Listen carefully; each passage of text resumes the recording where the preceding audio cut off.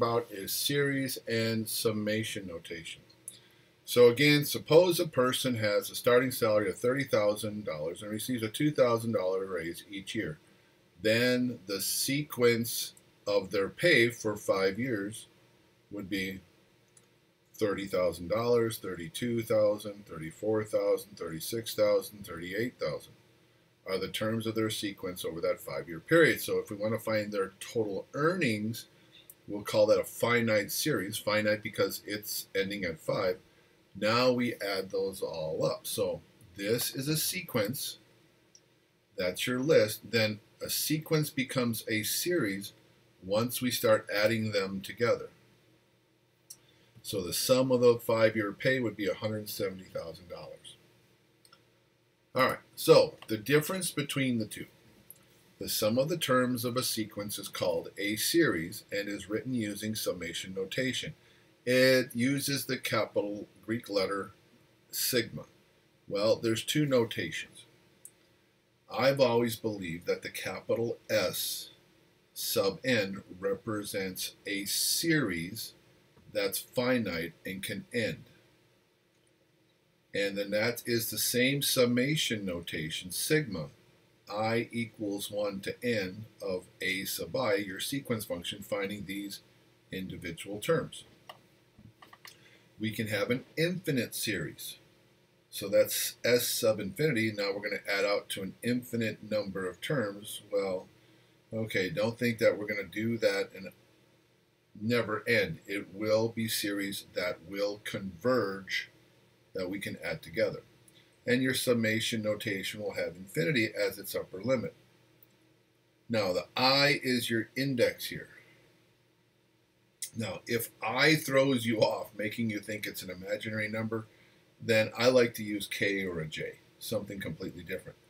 But the reason for two different notations is if this said s sub 15, that's called the 15th partial sum, starting with the first term up to 15. So whenever you use capital S, you're always starting with a sub 1. Now with summation notation, your sigma notation, you don't have to start with a 1. I could say, well, what's the sum from the 6th term to the 15th term? I'm allowed to change my starting value here. Whereas in this notation, you can't see the indication of changing the starting number. So with capital S, you always start with n equals 1, the first term. With summation notation, you have the ability to change where you want to start at. All right, example time.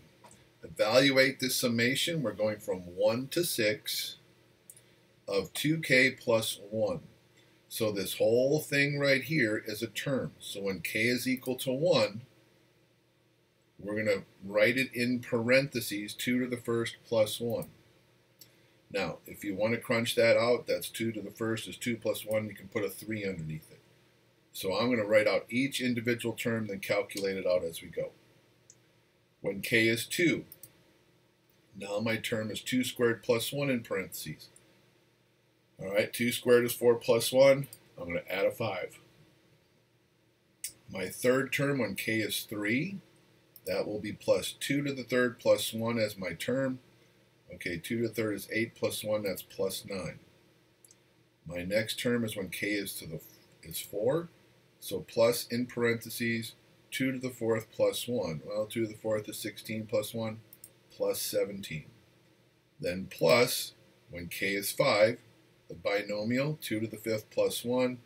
So let's see, 2 to the 5th is 32 plus 1, that's 33. And then finally, plus 2 to the 6 plus 1, uh, 64 plus 1, 65. Then we'll add them together. The 5 and the 65, that's a 70. The 17 and the 33, that would be, what, 50? So 70 plus 50 is 120, 129. 132 is my sum. All right, example four, part A it says write out the terms of each series and, if possible, evaluate each sum. So now you can see here we're starting at 3 and not a 1. So we're going to have J is 3, 4, 5, and 6. We're going to put that in for J, so we're going to have a sub 3 plus a sub 4 plus a sub 5 plus a sub 6. They didn't tell us anything about what the a sub n function is or a sub j function, so we'll just leave it at that. We just listed the terms. We can't do anything more to evaluate. Part B, summation from i, i equals 1 to 3, 6x sub i. So we're going to be changing that subscript. Then we're going to subtract 2. And then it says if x sub 1 is 2, x sub 2 is 4, and x sub 3 is 6. Okay, they're giving us the values. So I list my terms. 6x sub 1 minus 2 plus 6x sub 2 minus 2 plus 6x sub 3 minus 2. Substitute in the 2, the 4, and the 6. And now crunch the num numbers. Now we can evaluate. It is possible. So 12 minus 2 is 10. 24 minus 2 is 22. 36 minus 2 is 34. Uh, that adds up to be 66. Part C. All right, we got all kinds of crazy notation here. We have the summation from 1 to 4, f of x sub i, so we'll be changing this, times delta x, that's your change in x, that's just a variable. If f of x is equal to x squared, okay, there's my function, and then x sub 1 is 0, x sub 2 is 2, x sub 3 is 4, x sub 6 is 6, and delta x is 2. So I'm just going to put in my i's and make those changes right now. So f of x sub 1 times delta x plus f of x sub 2 times delta x plus f of x sub 3 times delta x plus f of x sub 4 delta x. Alright, so now it's time to put some numbers in x sub 1 is 0, delta x is 2. So all these delta x's are going to be a 2. And this will be f of x sub 1 will now be f of 0 times 2. And see, x sub 2 will be 2, so this is plus f of 2 times 2. And then x sub 3 is 4, f of 4 times 2. And finally, f of 6 times 2. Now to evaluate these functions, take 0 and let's go put it into the f of x function, which is x squared. 0 squared, well, okay, that's 0, so 0 times 2, that's a 0. 2 being squared will be a 4, so that's plus 4 times 2. 4 squared, that will make it 16 times 2. 6 squared, 36 times 2. So that's a 0 plus an 8 plus a 32 plus a 72 uh, looks like we get 112 here. Now, for all these examples, notice our upper limit was very small because these are things I'm going to ask you to list out the terms to make sure you understand the definition of summations. Well, what happens well, when we get some really big upper limits? Well, we have some properties that we want to use. The a sub i and b sub i's are going to represent sequence functions, a sub n, b sub n. C is going to represent a constant. Your n will be positive integers as normal. Our first summation property says that if you have a summation with just a constant, there's no i, no index, no counter, then that means you're just adding that constant number over and over and over again, which is the definition of multiplication. Take the upper limit n, multiply it to c, that's your sum. B states that if you have a constant being multiplied to your function, it's smarter to factor it out as the GCF. So instead of multiplying things together and making them bigger than adding, why don't you add the smaller numbers together, then multiply it by C, you still get the same sum. That kind of happened right here. Our delta x was being multiplied to everything. We could have factored it out to the front first, so put a 2 out and then find, okay, 0 plus 4 plus 16, that's 20, plus 36, that's 56, and then take the 56 and multiply it by 2, you still get 112. C and D are kind of the same. If you're adding or subtracting our two sequence functions, we're going to separate them into two summations. If it's a plus, we'll add them. If it's a minus, we'll subtract them. These three here are just as important as this first one in terms of finding the sum. If you have your index i or k or x, whatever you want it to be, to the first power, that's linear. You're going to be going 1 plus 2 plus 3 plus 4 out to n. Well, if that was, say, out to 100, that's a lot of adding to do. A formula to add up all those numbers is n times n plus 1 over 2. For our summation with i squared, now we have a formula for that, but it's a little bit messy. Don't panic. We're looking at 1 squared plus 2 squared plus 3 squared plus 4 squared. And we have a formula for that which says n times n plus 1 times 2n plus 1 over 6. Now, again, we're going to have to memorize this. So, to be honest, this is the only one I've memorized. I use this one to build this one. And how do I build my second binomial? Say I have two n's, that's 2n, and 1, 1, so plus 1. That gives me three factors on top times my 2 gives me 6 on the bottom. Now, the next one I do not like, so I'm going to give you an alternative definition to write this. I think it's easier because it helps with the multiplication process. So I'm getting my, here it comes, getting my error server to show up. What I would do for this last one, I would use this formula. I would say n times n plus 1 all over 2 squared. Because now this matches what you have right here. So this first formula I used to build these other two. Come on, mouse. So my two n's give me the 2n and then the plus 1 all over 6, 3 factors times 2. Then for the third one, it's the n times n plus 1 all over 2. All I have to do is square it.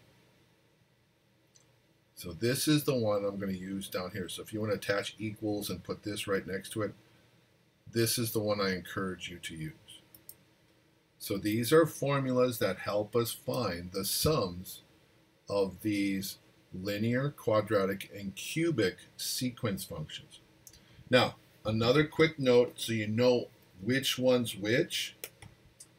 If it's i to the first, you have two n's in your factors i squared, there's three n's. Whatever the power is, you have to have plus one of that power n's. i to the third, okay, four n's. One, two, three, four. I'm squaring it. Or n, and n plus one is two, then you square it, you get four n's. All right, so let's use these examples here.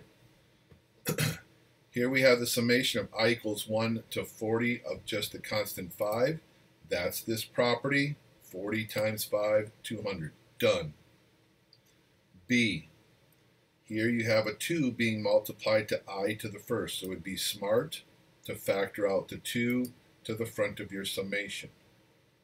Now that's i to the first, so that's my n times n plus 1 all over 2. So wherever you see the n's, you put a 22 to replace this summation. So 2 times the brackets, 22 times the 22 plus 1, which this will be 23. Now this 2 has to reduce with one of these two factors. You will always have one even and one odd, or one odd, one even. But the 2 will reduce into the 22, making it 11. And now you go to the calculator and just multiply these three numbers together to get 506.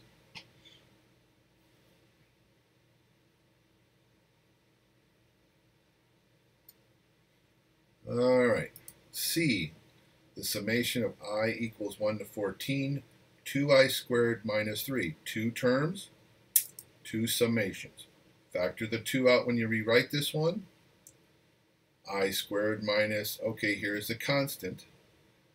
so your i squared, that's the n times n minus 1 times 2n, excuse me, n times n plus 1, then 2n plus 1 all over 6.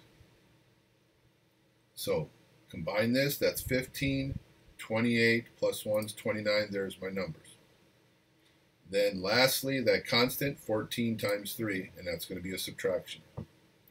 Now, with the 6 in the denominator, that has to reduce. So you're going to have one even number, one number that's a multiple of 3, or you'll have a number that's a multiple of 6 to reduce it in. You will always have something to reduce. So the 2 goes into the 14 seven times, the 3 goes into 15 five times. Those are the two factors of my 6. So now I can go 2 times 7 times 5 times 29 minus 14 times 3, that's 42. Or if you want to go 7 times 5, make this a 35. Whatever you mentally want to do, go ahead and calculate it out. But you should get 1,988. Another thing that I would recommend that you do to make sure you're doing this right, again, grab your calculator. Where's my calculator? There it is. Hiding behind my iPad. All right, you can do the summations again with your calculator. Under the math button, up arrow, option zero, summations. Enter. So this is a check. I would, you need a variable there. Put anything you want. X. 1, right arrow to 14, right arrow into the argument, put 2x, because that's the variable I chose, squared, minus 3, hit enter, and it comes up with the sum for you. So just in case you made a mistake in one of these calculations, or sometimes people forget to subtract this number, whatever the case might be, you have the correct answer to double check that your answer is correct. Now remember, I'm going to be looking for all this substitution, this simplifying. They're all going to be part, the, part of the answer key. Because I'm going to ask to find or simplify the summation using the properties, which means I want to see that written out. All right, D. Now here my n's a little smaller, so what I can possibly do here is simplify my formulas as I go. So break them into three summations for the three factors. Factor the three out of the second one. All right, now let's see over here. It was kind of tough to do the 14 times the 2 plus 1. So I wanted to write that down. But here, I want to hopefully show you a shortcut. All right, so this is going to be 6 times the 6 plus 1 is 7, and then the 2 times 6 plus 1 is 13.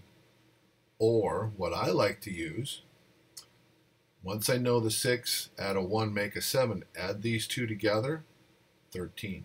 It's the same over here. 14, the 15, Add those two together is your 29. Shortcut, all over 6, plus 3 times, now, 6 times 7 over 2. You already have those listed. It's right there. That's why I like that n times n plus 1. It's part of every one of my formulas, except the constant. That would be plus 30, or you can leave it as plus 6 times 5. If you can do the mental arithmetic, go ahead and do it. All right, we'll reduce the 6's reduce the 2 into 6. So let's see, 7 times 13, that's 91. Uh, 3 times 7 is 21, times 3 is 63, plus that 30. And we can add those all up together. Let's see, 9 plus 6 is 15, that's 18, that's 180, and 1 plus 3 is 4. And that's how we calculate out our summations.